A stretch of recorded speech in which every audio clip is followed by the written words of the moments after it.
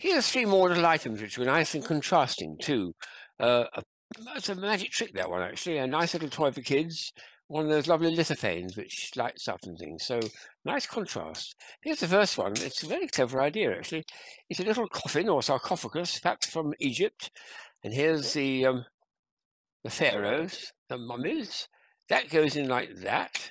You get your friend to do it when your back's turned, and then you put it on the table, and he says, "Now, what colours I put in there?" And he's also hid these away, so you can't tell that away. And of course, all you're doing is looking at the fact that this rocks slightly from there. To, to, look at this movement, how slight that is.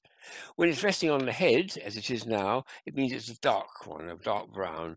If we try the next one, we'll see it changes its position. It's due to the fact that there are different, there's weight inside, but it's in different positions, think.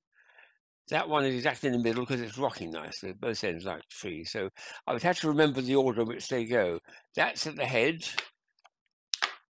That one's in the middle when it's exactly balanced. And the last one I have to remember, which is a light, which is slightly darker wood, is now sitting on the tail there. So for a magician, it's very easy to remember those three things. You just have to have them in your brain that that and then that and then that are the heads and the middle and the tail of the coffin, and you know exactly which is inside, even though the lid's closed and you haven't seen it. It's a clever trick, that. I like that. Well, who's the mummy? Yeah, I think this one is a charming little toy, an old one reproduced, I think, plastic. When you blow it up, I thought I'd start without the whistle going because what's going to happen is the air is going to come and come out in two different places. One is here, a whistle, which I'll do second, and secondly, it also comes out of the back to give it forward propulsion. So it should whistle. I can't whistle or dry mouth today. It should whistle, and also uh, each time it moves forward. We'll try just a forward movement to start with.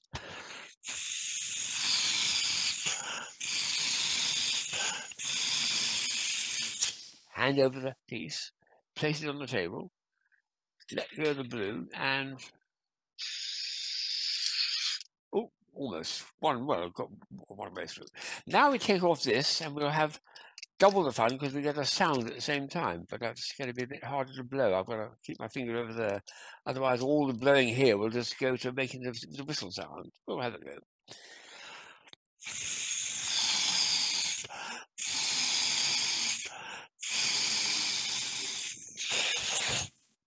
Wow. Now let's see what happens. Finger there, finger there, finger there. Well, it did it once. Not bad. Not bad for a little toy. I got a feeling if I did a much bigger balloon, it would last. Forever. On the other hand, it might, yes, it might fall over.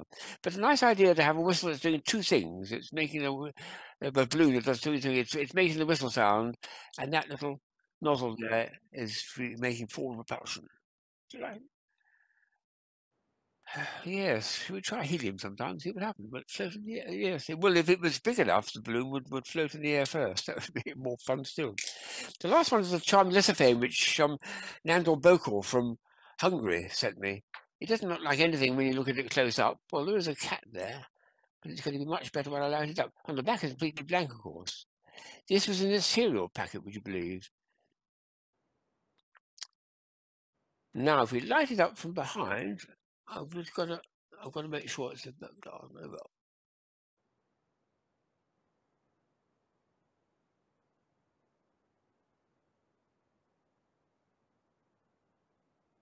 So it's a very precise bit of artwork there to create such a an exact replica of it, all done by the thickness of the plastic, which is astonishing.